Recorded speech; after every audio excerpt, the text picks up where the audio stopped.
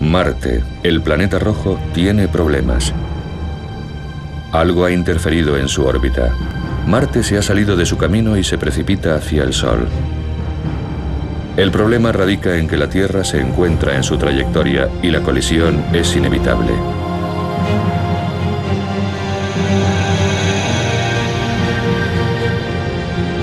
Ficción puede, pero no se confundan. Todo apunta a que en la realidad se produjo un choque semejante que conmocionó la Tierra hasta la médula, aunque esto supuso un golpe de suerte.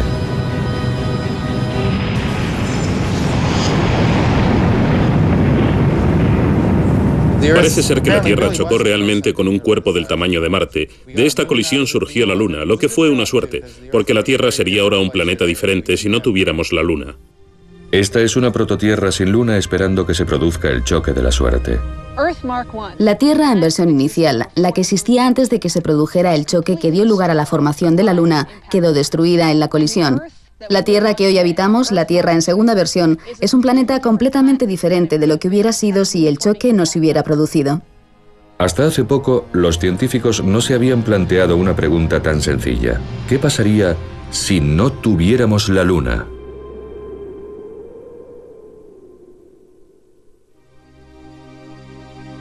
Si no tuviéramos el Sol, no habría vida en la Tierra. Es más, no existiría la Tierra. Pero, ¿y en cuanto a nuestro vecino celestial, la Luna? Sin ella, algún tipo de planeta Tierra existiría de todas formas, pero este estaría privado de vida terrestre. Plutón es el otro planeta con una luna relativamente grande. Sin embargo, estos diminutos y lejanos cuerpos son planetoides congelados que realmente no cuentan. Júpiter, el planeta más grande, tiene 16 lunas, pero al igual que las de los otros gigantes gaseosos, Saturno, Urano y Neptuno, sus lunas son diminutas comparadas con ellos. Júpiter y sus satélites forman entre sí una especie de sistema solar en pequeño. Marte tiene dos lunas de tamaño muy pequeño, que con toda seguridad son asteroides capturados. En muchos sentidos, Venus es el planeta gemelo de la Tierra, pero no son similares en lo referente a las lunas. Venus no tiene lunas. Lo mismo le pasa a Mercurio, un planeta un poco más grande que nuestra Luna, el más cercano al Sol. Dentro del Sistema Solar, solo la Tierra tiene la suerte de tener una luna de un tamaño considerable. ¿Cómo es posible? La teoría no puede ser tan evolutiva para poder aplicarse a todos los planetas, porque de ser así, Mercurio tendría que tener una luna y Venus y Marte también, pero no la tienen. Si la Luna y la Tierra se formaron juntas en el sistema solar embrionario, la Luna debería tener, al igual que la Tierra, un enorme núcleo de hierro. No lo tiene, por lo tanto la teoría falla. Y en cuanto a la teoría de la captura de cuerpos externos, ¿pudo la Tierra tomar como rehén a un planetoide que iba de paso? No es posible. Un cuerpo del tamaño de la Luna seguiría su camino. Una tercera teoría señala que debido a que la prototierra estaba en estado semilíquido, giraba a gran velocidad, un trozo del planeta pudo desprenderse de la parte ecuatorial, pero la física no toma en serio esta posibilidad. Cuando la NASA va a viajar a la Luna, los científicos buscan una explicación más plausible. Harold Urey, el geoquímico que participó en la organización inicial de las misiones del Apolo, dijo que ninguna de las tres teorías eran satisfactorias, por lo tanto la Luna no debería existir. Pero la Luna existe, y desde 1969 seis misiones han llevado a 12 astronautas a pisar la superficie lunar.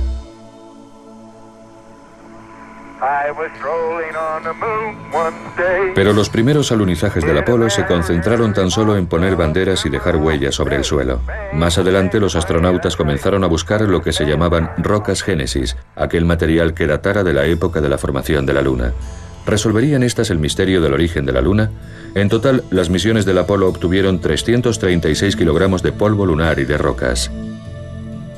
Dos, uno, cero. Despegamos, Roger. Ignición. Cuando las expediciones del Apolo volvían de la Luna, se organizaban inmediatamente una serie de conferencias anuales en Houston para estudiar las rocas que habían traído y para discutir sobre la composición química y las propiedades de estas. La gente los llamaba festivales de rock. Había uno cada año. Los resultados son decepcionantes. Las rocas se parecen a las del manto de la Tierra, pero no contienen agua y tienen muy poco hierro. No se trata de rocas génesis. Y no es de extrañar. A lo largo de miles de millones de años, la Luna ha sufrido gran cantidad de bombardeos cósmicos que han destruido las rocas más antiguas de su superficie. La búsqueda de las rocas Génesis fue una empresa de locos. El hombre pisa la Luna, pero esto no arroja ninguna luz sobre las teorías de su origen. Los científicos se reunieron y comentaron, han pasado casi 10 años desde la última expedición del Apolo y tendríamos que haber aprendido algo sobre los orígenes de la Luna y sus primeros años de existencia. ¿Por qué no tenemos una respuesta? Hartman opina que sus colegas han pasado por alto lo más importante al haberse concentrado tan solo en analizar las rocas. Según él, en los choques está la clave de todo. La Luna es un registro claro de los impactos procedentes del espacio desde hace 4.500 millones de años. Además, algunos de estos choques han sido realmente brutales, aunque no se vean claramente en el hemisferio visible desde la Tierra. Antes del Apolo, cuando se desconocía casi por completo la cara oculta de la Luna, Hartmann empezó a localizar en un mapa los cráteres de los bordes del hemisferio visible. En un laboratorio, con la ayuda de sus colegas, construyó una maqueta de un globo.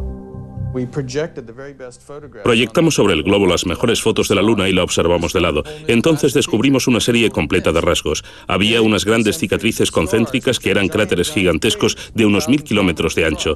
Esa fue la conexión para pensar que la Luna había sufrido grandes choques y de que en el sistema solar había habido cuerpos muy grandes dando vueltas que acabaron chocando contra los planetas iniciales. Y por cada cuerpo que chocaba con la Luna, 25 se estrellaban contra la Tierra.